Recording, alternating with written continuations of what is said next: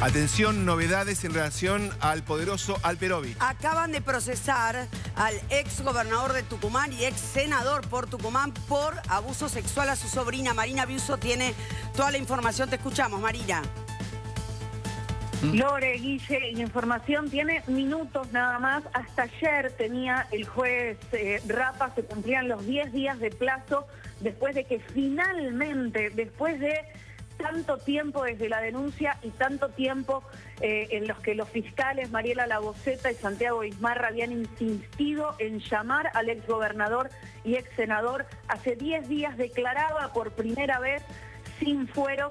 Eh, había 10 días para decidir la situación procesal y se acaba de comunicar eh, con la víctima hace minutos nada más para confirmar el procesamiento de Alperovich, de este hombre por abuso sexual en la causa en la que se investiga estos hechos denunciados. Lore, vos has seguido este caso al detalle eh, de una sobrina eh, que trabajó con él y que había denunciado estos hechos ocurridos en Tucumán y en Buenos Aires. Es eh, un hecho realmente trascendental después de tanto tiempo y él tanto tiempo amparado en su fuero.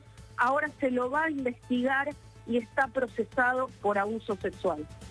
Bien, Marina, la verdad que es un antes y un después en la provincia. Este hecho de abuso sexual marcó un antes y un después porque a partir de la denuncia eh, por abuso sexual contra Alperovich, otras mujeres que también sufrieron abusos o acosos del poder político y judicial, en general funcionarios ligados al Alperovich, también se animaron a denunciar. Y no tengo dudas que a partir de este procesamiento van a confiar más en la justicia, Marina. Esperemos que, así sea. También es un antecedente, ustedes recuerdan, hemos tenido casos de, desafuero en diputados, pero nunca en senadores. No. Después de que se hizo la denuncia contra Alperovich, Alperovich tuvo dos años de licencia, pero mantuvo su banca. Eh, recién perdió el puesto cuando, obviamente, con este escándalo de por medio era imposible llevarlo en una boleta.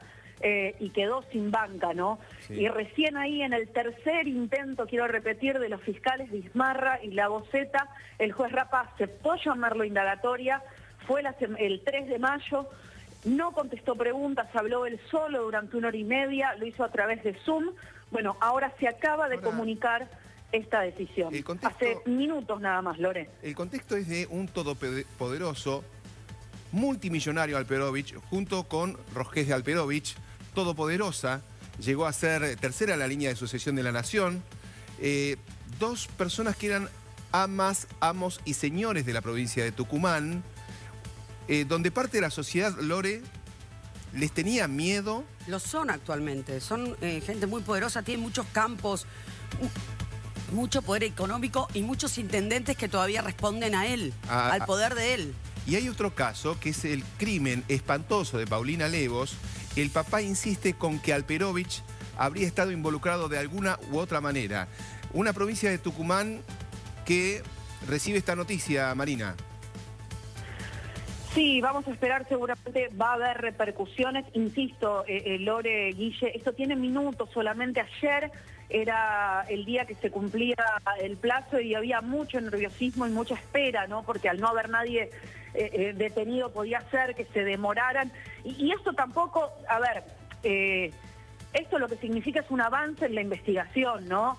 ahora se avanzan y se tienen que cumplir todos los tiempos procesales y todas las cuestiones, ¿no? Hay que avanzar luego en, un juicio, pero es sin lugar a dudas un avance, ¿no? Eh, eh, miren qué poquito es lo que, lo que hay que, mm, digamos, qué poquito llevó tanto tiempo, que es poder investigar, poder avanzar. La justicia consideró que había suficientes elementos eh, para poder avanzar en un procesamiento. pero insisto, ha llevado realmente mucho tiempo el trabajo conjunto de dos fiscalías em, para poder llegar hasta este punto y hasta esta decisión del juez Rapa que se acaba de dar a conocer, insisto, hace minutos nada más. Enseguida continuamos. Gracias, Marina.